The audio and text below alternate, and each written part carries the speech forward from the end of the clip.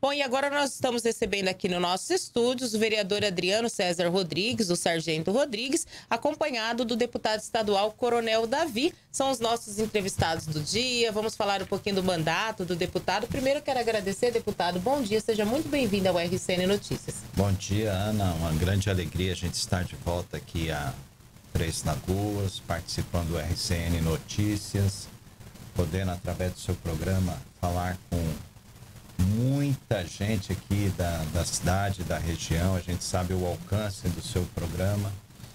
E a gente veio aqui para agradecer o apoio, a confiança, o voto de todos que tiveram a oportunidade de nos conhecer, conhecer o trabalho e votaram na gente, e propiciando mais uma vitória eleitoral. E a gente veio aqui renovar os compromissos, principalmente naquilo que a gente já estava fazendo no mandato anterior, de, de muita atenção a pedido do nosso parceiro, Sargento Rodrigues, na questão da saúde aqui do município, os investimentos que a gente fez através das emendas parlamentares no Hospital Auxiliadora, quase meio milhão de reais, e a gente pretende continuar fazendo isso e trabalhando também na reestruturação agora, no fortalecimento do efetivo das forças policiais aqui do estado e principalmente aqui para atender Três Lagoas e região, já pensando no aumento do efetivo para Ribas do Rio Pardo e também Inocência, que estão recebendo grandes empreendimentos, que vai ter um aumento populacional muito grande. E a gente do progresso, mesmo com o desenvolvimento, com a geração de emprego e de renda, a gente sabe que isso pode, de alguma forma, também aumentar a criminalidade, atingindo assim a população.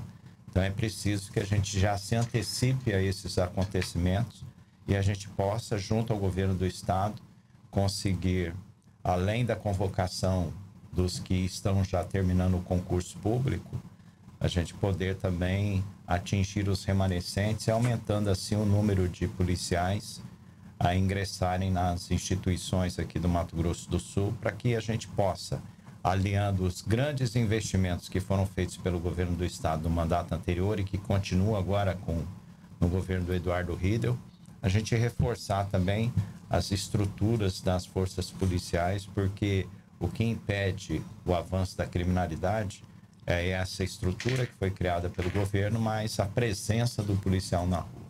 Exato. Bom, e o vereador Adriano César Rodrigues, eu quero fazer um adendo, sempre traz, né, o deputado Coronel Davi aqui em Três Lagoas, o RCN Notícias, e isso é importante, até na, na época de campanha eu falei, olha, Exatamente. quando se for eleito a gente vai cobrar, eu quero que retorne, está retornando, isso é muito bom ver essa prestação de serviço, né? Não só no período de campanha, mas depois de eleito voltando também para prestar contas, isso é muito bom, né, vereador? Bom dia, seja bem-vindo também, viu? Bom dia, Ana. Bom dia a toda a nossa população treslagoense. É um prazer estar aqui no seu programa. Eu já me sinto em casa. E hoje, um dia especial, recebendo nosso deputado Coronel Davi. É eu falo nosso porque é o deputado realmente de Três Lagoas, que realmente trabalha aqui em prol da nossa querida população. Por isso que sempre a gente tem essa, gente tem essa parceria já fechada. Gente, sempre a gente está apoiando, pedindo voto, pedindo apoio. E o deputado sempre faz questão de estar presente em Três Lagoas e principalmente depois do período de campanha, voltar agradecendo. A gente já passou por algumas empresas é, e, e, o deputado sempre faz algumas instituições agradecendo o apoio que a população é, sempre dá essa votação expressiva e é um deputado muito atuante que a gente, quando não resolve as demandas de Três Lagoas, nós levamos para o deputado e sempre dá uma devolutiva e sempre, na maioria das vezes, positiva, resolvendo os problemas da nossa população. Então é uma satisfação muito grande estar ao lado desse grande deputado. Para mim, é o deputado mais atuante do Mato Grosso do Sul, deputado estadual, e eu tenho muito orgulho de ter ele como nosso representante. Teve quantos votos aqui em Três Lagoas? Dois mil, quase 2.700 votos. Olha, mais uma vez, votado, o deputado eleito mais bem votado aqui em, em Três Lagoas. E eu fico muito feliz. Isso aumenta muito a nossa responsabilidade, Ana, porque as pessoas, é mesmo é, com tudo aquilo de ruim que envolve a política, nós temos uma grande parcela da população que ainda acredita no homem público e sabe que o político, aquele que realmente trabalha em prol da sociedade, ele consegue transformar a vida das pessoas. Então, junto aqui com o meu parceiro, o Sargento Rodrigues, a gente vem trabalhando de forma conjunta ele pegando aí é, as maiores necessidades que o município tem, que a região tem, levando para a gente e a gente podendo, com a força do, do, do mandato de deputado estadual, a gente conseguindo muitas ações em benefício da população junto ao governo do estado, é, no mandato passado junto ao governo federal com o presidente Bolsonaro. Então, a gente vai continuar na mesma pegada, trabalhando efetivamente. E isso que você disse é, é muito recompensador, porque não é comum o político voltar depois da eleição para agradecer o voto. Ontem eu cheguei antes do almoço, ontem a tarde inteira até 18h30, a gente fez várias visitas aqui no município, agradecendo os apoiadores, aqueles que realmente estiveram ao nosso lado, estimularam outras pessoas que talvez nem conhecessem o Coronel Davi, mas pela indicação dos colaboradores, dos amigos, do Sargento Rodrigues aqui, nos deu mais essa grande votação, essa grande vitória. E isso faz com que a gente continue trabalhando desta forma, vendo quais são as reais necessidades da população e a gente podendo de alguma forma ajudar para minorar aí as dificuldades que todo mundo passa. Isso é bom, né? Porque não é aquele candidato paraquedista que a gente fala, né? Só vem a cada é. quatro anos, época de eleição. Isso é muito bom, viu, deputado? Ver esse respaldo que o, o vereador tem com o senhor e o senhor retornando para agradecer a votação e também ajudando o município com emendas, como o senhor falou, emendas para o hospital é, auxiliadora e também o senhor tem um foco muito voltado para a área da segurança pública, né? Porque é uma pessoa ligada à segurança pública e a gente constantemente tem cobrado aqui também é mais investimentos em segurança pública, uma onda de furtos muito grande aqui na cidade e é o que o senhor disse, é preciso aumentar o número de policiais, né? É, estamos trabalhando bastante nisso. A gente pediu no mandato passado, ainda no governo anterior, a realização de concursos públicos para a Polícia Militar, para a Polícia Civil, para o Corpo de Bombeiros. A gente conseguiu trazer 100% do público de remanescentes do concurso da AGPEM. Então, hoje, nós quase que dobramos o efetivo da Polícia Penal, graças a esse empenho, graças à grande ajuda que a gente teve na época do secretário de governo, do então secretário de governo Eduardo Riedel, que contribuiu decisivamente para que a gente obtivesse essas conquistas. E agora a gente já está já é, caminhando para a fase final do concurso público da Polícia Militar e do Corpo de Bombeiros e a gente vai esperar. Então, logo haja o resultado final, vamos verificar quantos foram aprovados ao final de todas as fases e, se for necessário, vamos pedir a convocação daqueles que, mesmo aprovados, não se encontram dentro das vagas que foram abertas pelo edital. Eu entendo que desta forma a gente vai conseguir suprir bastante a carência de efetivo aqui em toda a região do Bolsão. E a gente sabe que Três Lagoas hoje representa um grande polo do desenvolvimento é, e a gente tem que olhar com bastante carinho. A gente sabe, volta a repetir, uhum. desenvolvimento é bom, gera emprego, gera renda, mas traz a bandidagem também porque o bandido sempre procura é, estar naquele lugar que mais tem a geração de riqueza. Então, é, é importante que a gente possa tomar essas medidas preventivas e atuando decisivamente para a melhoria da segurança da população. Deputado, o que, que as pessoas podem esperar do senhor nos próximos, nos próximos anos aí de mandato ainda? Bom, eu tenho essa bandeira da segurança pública e das várias é, variantes que esse setor tem. Eu venho atuando fortemente também na questão da violência doméstica. É uma das bandeiras do meu mandato.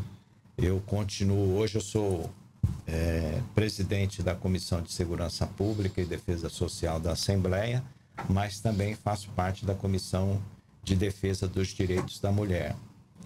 É, eu entendo que nós temos que focar, porque o Mato Grosso do Sul, como o Brasil também, vem enfrentando uma onda crescente de feminicídios, de violências cometidas contra as mulheres, e é preciso que nós, homens públicos, tenhamos a exata noção de que a gente precisa continuar implementando políticas públicas de proteção.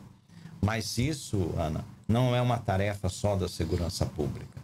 É uma tarefa que envolve também a família, que envolve a sociedade como um todo. Todos nós temos responsabilidade.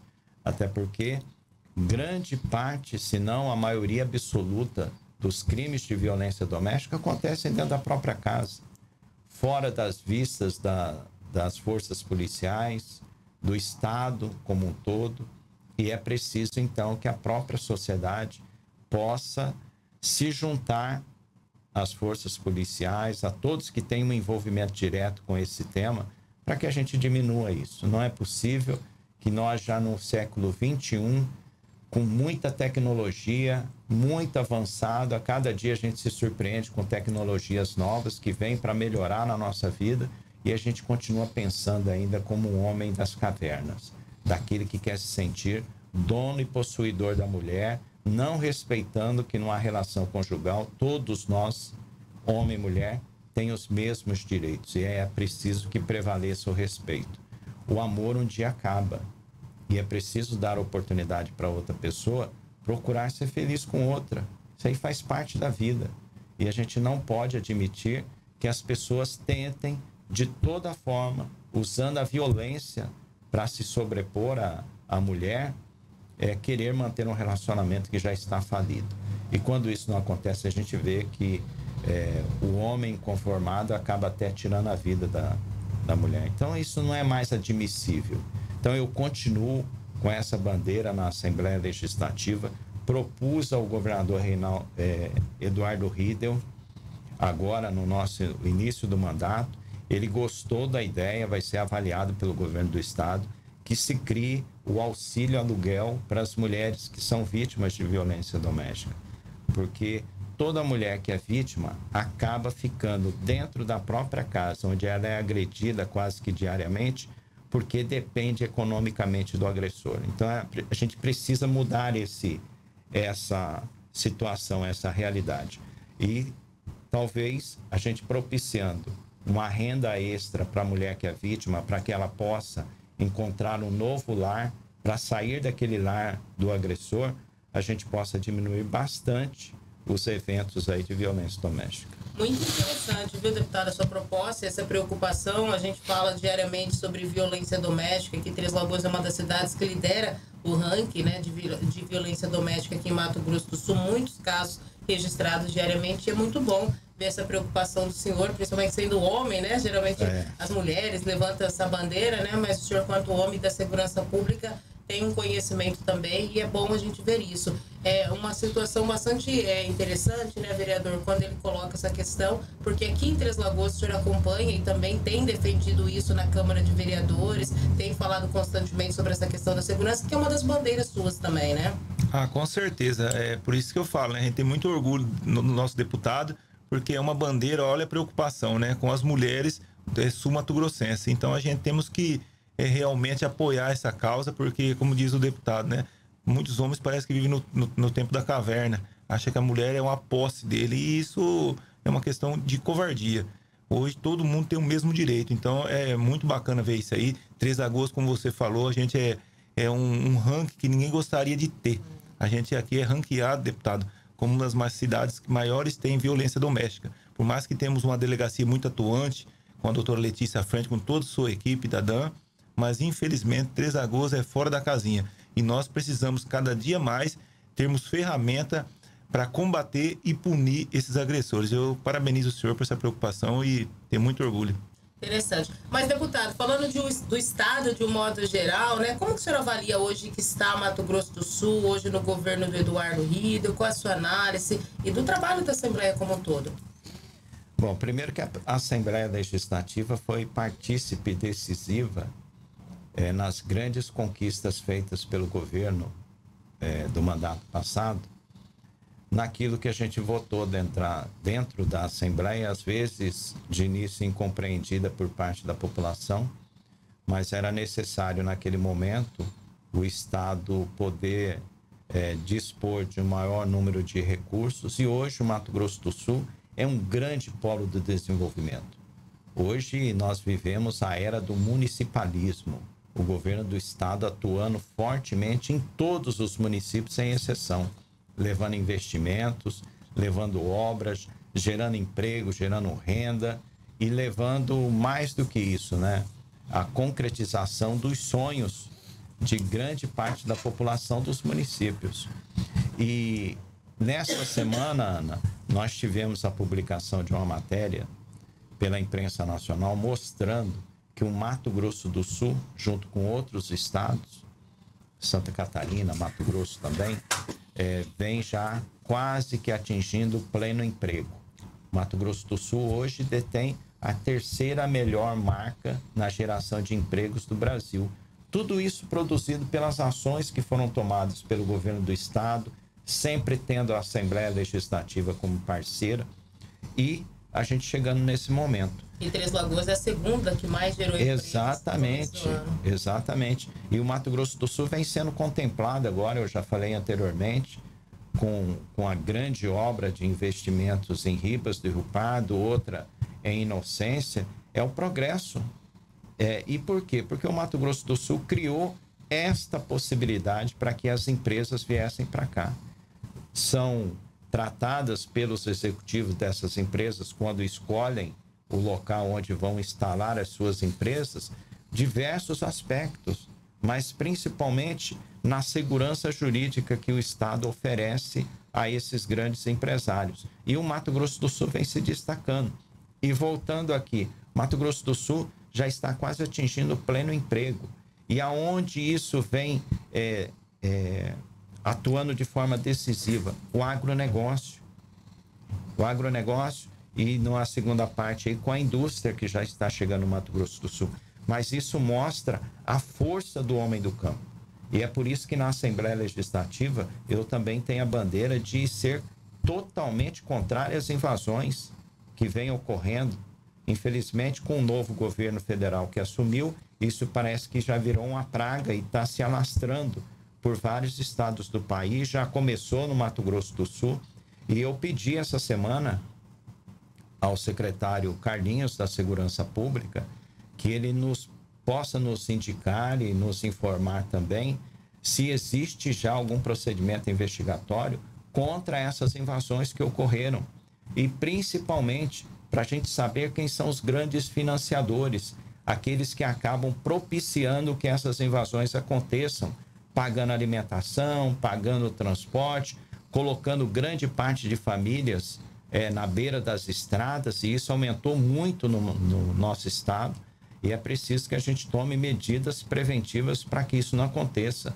Mato Grosso do Sul precisa ser um estado que cumpre a lei, que garante a segurança jurídica ao homem do campo, mas que, sobretudo, respeite o direito de propriedade.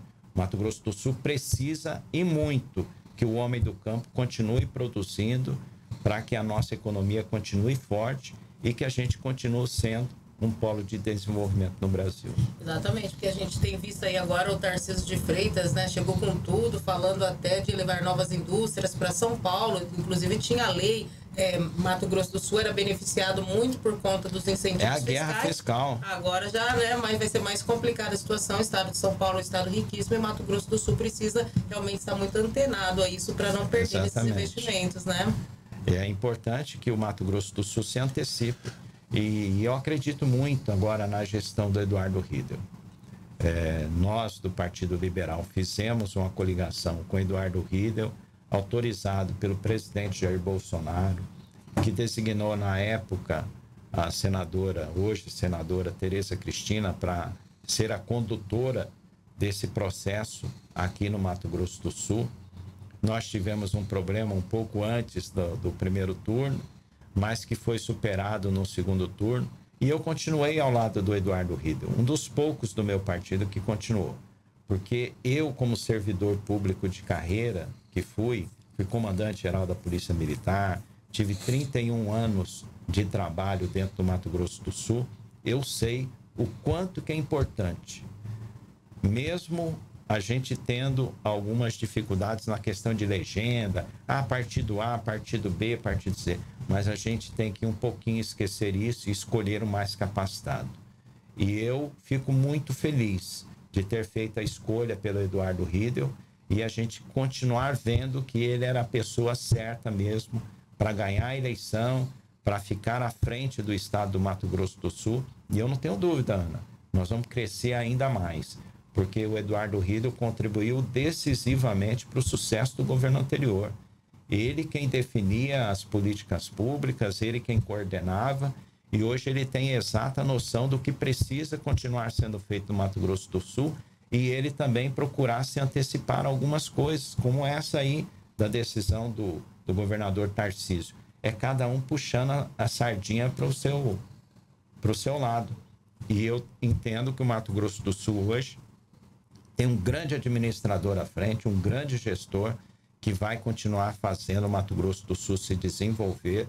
E eu não tenho dúvida de que nós teremos políticas públicas para todos os setores da sociedade que vai ser contemplada em algum momento por essas ações, porque todos nós, independente de ideologia, eu sou de direita, é, tem outros que são de esquerda, outros de centro, mas todos nós, independente de ideologia, nós temos um sentimento que é comum, que é buscar sempre o bem comum da sociedade.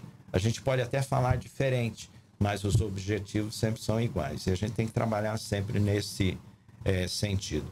E para a gente não deixar passar em branco, eu me junto aqui a todos os meus colegas deputados, a todas as famílias que vêm atravessando esse momento difícil, é, com o deputado Zeca do PT, o deputado Amarildo Cruz, que ontem, é, mesmo no estado gravíssimo, até é, surgiu uma notícia que nos deixou bastante triste, mas logo depois veio a informação correta e nos dá ainda muita esperança de que ele continue entre nós.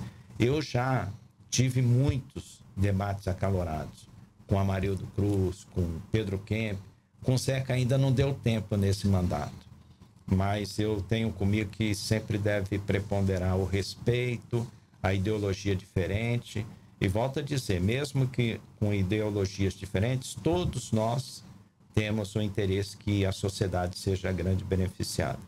Então eu espero que ele possa, eles dois, né, o Zeca e o Amarildo, possam superar esse momento difícil e a gente, todos nós, os deputados, a gente está unido aí para que eles possam se restabelecer e voltar no nosso convívio. Exato. Deputado, o senhor permanece no PL? Qual que é o futuro de vocês? Adriano Rodrigues também, do vereador, como que fica a situação de vocês partidariamente? Não, eu, eu continuo no Partido Liberal, porque eu acredito ainda que o presidente Bolsonaro vai voltar em breve dos Estados Unidos, vai assumir aí a coordenação é, nacional dessa oposição que a gente vai fazer ao governo federal que está aí. E a gente já preparando um campo para que em 2026 a gente possa ter uma candidatura forte e que atenda às expectativas do povo brasileiro, que quer continuar tendo é, tranquilidade, sobretudo. E a gente é, percebe que nesses primeiros dias de governo do, da esquerda não é isso que vem acontecendo. Então a gente precisa recuperar aquilo que a gente conquistou a duras penas no governo do presidente Bolsonaro e a gente olhar para frente. É, a gente tem que olhar para frente sempre buscando a melhoria da vida de todos que moram aqui no Brasil. O senhor permanece no PL também, vereador? É, hoje eu tô no União Brasil, né, Ana? Ah, você já saiu do PL. Tava não, não, PL, não. não. Você tava no, no DEM. No DEM. Aí houve a fusão entre o DEM e o PSL, virando União Brasil. O senhor vai pro PL? É, a gente é o partido que a gente tem mais afinidade, temos o convite, né? Temos só que nós temos que viver uma realidade municipal também, uma construção municipal, né? Juntamente com o nosso grupo político, juntamente com o prefeito Anjo Guerreiro, né? Vamos ter a, um candidato que vai ser a sucessão do prefeito. Então, é um partido que provavelmente as minhas malas estão prontas, como eu já te adiantei, do União Brasil. E o partido hoje que mais a gente tem um, as mesmas ideologias, né, a, a mesma conversa é o PL e o PP da nossa senadora Tereza Cristina. Então, provavelmente, um desses dois partidos é os partidos que estão ali unidos em defesa do Mato Grosso Sul, em defesa do nosso Brasil. E um desses dois partidos a gente vai estar alinhando para construir dentro de Três Lagoas essa realidade para as eleições de 2024 e provavelmente o PL ou o PP é o caminho que a gente vai seguir. Perfeito. Meninas, eu quero agradecer o vereador Adriano César Rodrigues, Sargento Rodrigues, deputado Coronel Davi também, sempre bem-vindo aqui ao RCN Notícias, sempre que vir a Três Lagoas, a casa está aberta. Muito obrigado. Muito obrigada pela prestação de contas também, viu? Obrigado, Ana. Obrigado a todos que nos acompanharam pelo RCN Notícias.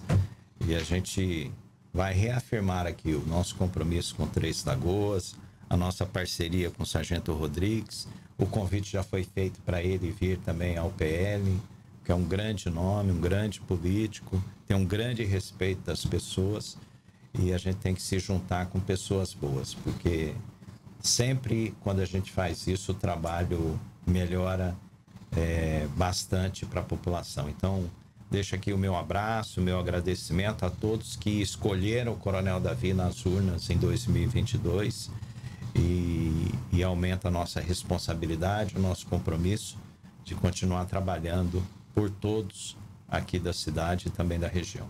Obrigada, obrigada, viu, vereador? Obrigado você, Ana. Eu agradeço mais uma vez a oportunidade. Agradeço muito o deputado Coronel Davi por essa parceria, esse comprometimento que tem com a nossa cidade e dizer a toda a população translagoense que acredita no Sargento Rodrigues, que acredita no Coronel Davi, agradecer do fundo do coração e firmar o compromisso dessa dobradinha. Sargento Rodrigues em Lagoas, Coronel Davi lá na Assembleia, representando muito bem nosso, nosso município. Obrigado. Obrigada. Nós que agradecemos.